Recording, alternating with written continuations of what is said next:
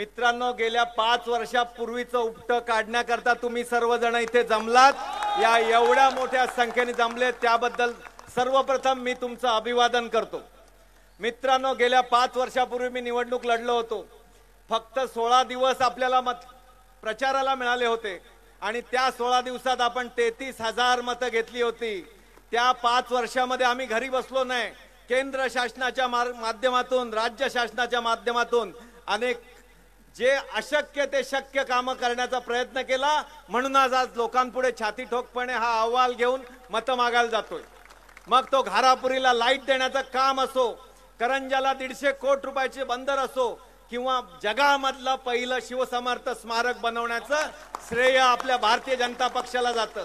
मी मी तुम्हाला एक जबाबदारीने सांगतो की येणाऱ्या पाच वर्षामध्ये आपण गेल्या पाच वर्षात पाचशे कोटी रुपयाची कामं केली.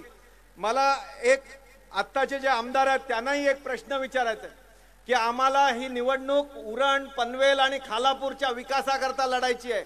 फक्त तिथे जाऊन भरावाची कामं घ्यायला एअरपोर्ट आणि पोर्ट मधली कामं घ्यायला जायचं नाही. जेव्हा नरेंद्र मोदी दोन वेळा तीन वेळा या मतदारसंघामध्ये आले तेव्हा दोन वेळा तुम्ही काळे झेंडे दाखवलेत.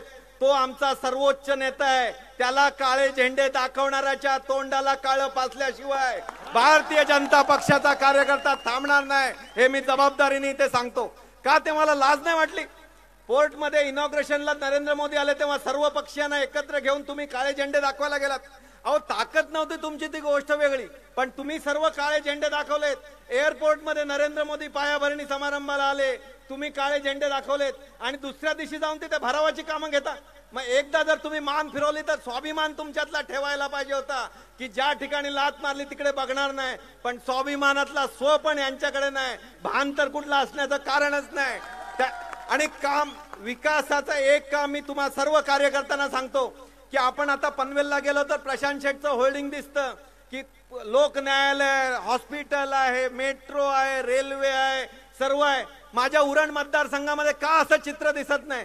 त्यांचा अहवाल वाचा. आदिवासी समाजाला बेंजो दिलाय त्याचा फोटो टाकलेत. हे त्या समाजाला उद्देश ठेवणार आहेत का. तुमच्याकडे सत्ता आणू- शकले नाहीत. तुम्हाला काम करायला राजकीय इच्छाशक्तीची गरज असते ती यांच्याकडे कधीच नव्हती. म्हणून आम्ही निवडणूक लढायचा निर्णय घेतलाय. आणि ही जिंकणारच असा विश्वास तुमच्या सर्वांमुळे मला आहे. मित्रांनो हा योगायोग आहे. आणि मी सांगतो समर्थांचा आशीर्वाद आहे. का हो जगातलं प- पहिलं शिवसमर्थ स्मारक इथे बनलं. हा योग आहे की नाही प्रशांत शेठ सांगा. की निवडणुकीचा फॉर्म दासईला घेतला जातो आम्ही तर ठरवलं नाही कुठे घ्यायचंय. आणि त्याच्यानंतर याच शिवसमर्थांच्या चरणाशी आपण सर्वजण आजची शपथ घ्यायला आलात. हे माझ्याकरता सर्वांकरता गर्वाचं आहे. मित्रांनो येत्या पाच वर्षामध्ये आपल्याला काय करायचंय? उरणपर्यंत लोकल ट्रेन आणायची आहे. पनवेल रसायनीपर्यंत मेट्रो ट्रेन आणायची आहे. Prashant Sheth M M R D रिजनमध्ये मेट्रो आणायचे. तळोजाची मेट्रो जर रसायनीपर्यंत गेली कर्जत पर्यंत चौक पर्यंत गेली तर या विकासाचा कायापालट होईल. अनेक प्रश्न या ठिकाणी आहेत. देवळोलीला धरण तयार आहे. फक्त पाईपलाईन आणि फिल्ट्रेशन काय? पाच वर्ष थांबलेलं तुम्ही. पुनाड्याचं धरण लिकेज आहे. का लिकेज बदललं नाही? यांना काम करायचं नाही यांना फक्त राजकारण करायचंय. मला बोरखार ते पागोटे ब्रिज करायचा आहे एक ब्रिज झाला तर माझा पूर्व विभाग जवळ येईल. पण यांना कधी सुचलं नाही उमजलं नाही कारण यांना त्यांच्या त्या फोबियातूनच हे बाहेर आले नाहीत. त्याच्यामुळे आपल्याला लवकरच हे परिवर्तन घडवायचं आहे आणि मला विश्वास आहे की यांना भारतीय जनता पक्षाची मी फार पूर्वीपासून जन्मलो तेव्हापासून संघाचा भारतीय जनता पक्षाचा आहे. आणि आज मी आजपासून आपण आपली निशाणी वेगळी असली तरी चोवीस तारखेला दुपारी तुमच्या अंगावर गुलाल ओढल्यानंतर आपण सर्व भारतीय जनता पक्षाचेच आहोत. चिंता करायचं कारण नाही. घारापुरीपासून ते वावरल्याच्या टोकापर्यंत पूर्ण मतदार सर्व तीनशे चोवीसच्या तीनशे चोवीस बूथवर कार्यकर्ता असा पेटलेला आहे. कोणाला थांबवायची गरज नाही. लक्षात घ्या शेवटी मुद्दा राहतो यांच्याकडे काय? तर हा मारवाडी आहे हा भूमिपुत्र नाही. ज्या भूमिपुत्रांनी काय केलं? कर्नाळा बँकेचे अध्यक्ष विवेक पाटील आधी चारशे कोटी लोकांचे द्या मग भूमिपुत्राच्या. हे भूमिपुत्र कशाच्या भरोश्यावर झाले? लोकांनी पैसे यांच्या बँकेत ठेवले त्याच्या जमिनी घेतल्या आणि हे भूमिपुत्र झाले. मी तर उरणात जन्मलो. उरणात शिकलो जिल्हा परिषदेच्या शाळेत शिकलो उरण उरणच्या जनतेने चार वेळा मला निवडून दिलं.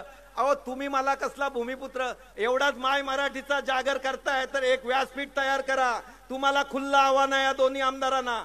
आणि मराठीवर चर्चा घडवूया. मग मराठीतलं साहित्य व्याकरण इतिहास भूगोल कशावर चर्चा करा? मी तुमच्या सर्व आव्हानांना तयार आहे. मराठीची चर्चा करा. यात जर हरलो तर या व्यासपीठावरून घरी जाईन परत निवडणूक लढणार नाही. पण ही हिंमत ही हिंमत यांच्यात नाही. कसं आहे उरणची जनता समजते. उरणमध्ये मराठी मारवाडी विषय विषय नाही. पण तिथे रसायनी मोपाड्याला चालतो. भूमिपुत्र देणार का? उद्या बाहेरचा तुमच्या मानगुटीवर हा चारशे कोटीचा घोटाळा करणारा मानगुटीवर बसलेला चालणार आहे का? मी तुम्हाला सांगतो येत्या दहा दिवसामध्ये प्रत्येक गावात बॅनर लावा की आधी आमच्या चारशे कोटी डिपॉझिट द्या आणि मग मग मत घ्या. का हो ग्रामपंचायती निवडणूक लढताना एवढा खर्च होतो हल्ली सगळ्यांना माहिती आहे. हे विधानसभेची निवडणूक लढायला चाललेत. हे लोकांच्या पैशातले आहेत की नाही?